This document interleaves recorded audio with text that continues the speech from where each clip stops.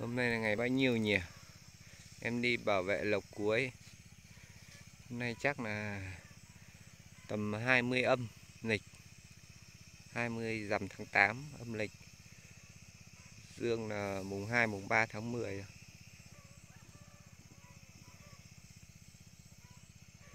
Mấy ông đệ mới này, kém quá.